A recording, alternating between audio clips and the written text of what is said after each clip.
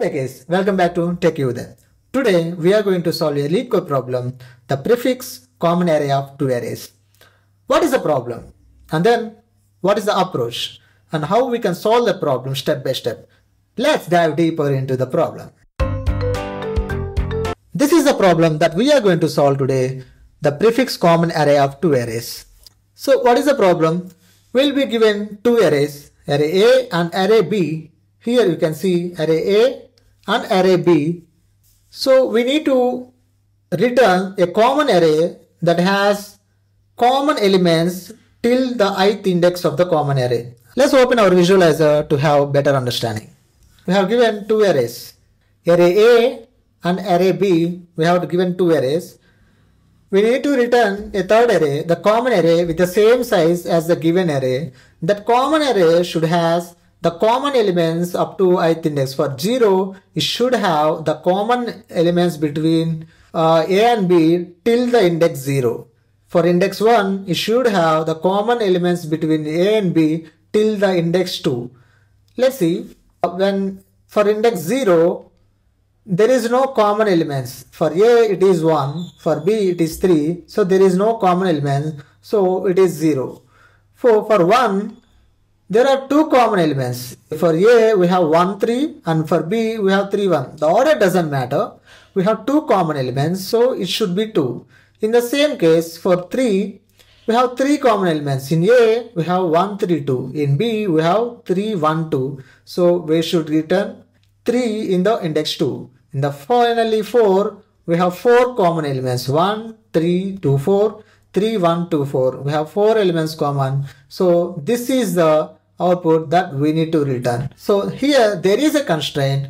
The index will have only 1 to n elements. If the size is 4, both A and B have 1 to 4 elements. Like the size is 4, so it has 1, 2, 3, 4, 4 elements, but in a different order. So till index i, we need to return how many common elements and we need to return the final array. So how we can approach this problem and how we can solve that, just see. So this is a code that we are going to use to solve this problem. We have, and here we have the common array of size n, we are returning that finally. And we are taking a frequency array to track the frequency of each number we got till now. Like the frequency of 1 will be stored in frequency of 1. We are taking plus 1 because we have the elements from 1 to n, not 0 to n minus 1. We have the elements from 1 to n. So to adjust that, we have taken n plus 1 so that the frequency of 1 will be in frequency of 1 and frequency of 2 will be there in frequency uh, at index 2. So to maintain that, we have taken plus 1 as a frequency index. Let's see that. So we have taken a frequency array with n minus n plus 1, which is n plus 1, n is 4, plus 1, 5. We have 5 elements in our frequency array. Now take a variable count.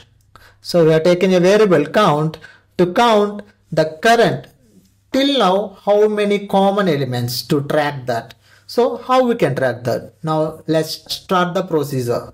So we'll start with 0, the first index and the frequency of a of i equal to, I mean before that we'll increment a of i by 1. So we'll increment 0 by 1 and then if the frequency becomes 2 we'll increment the count by 1.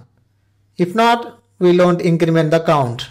In the same way, if b of i, in this case 3, then frequency of b of i, which is 3, becomes 1, but since the frequency is still 1, we are not incrementing the count.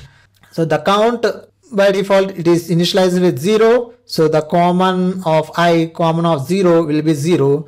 Let's see. So this is the 0th index. When we process this, since the frequency of 1 is only 1 so the count is not incremented.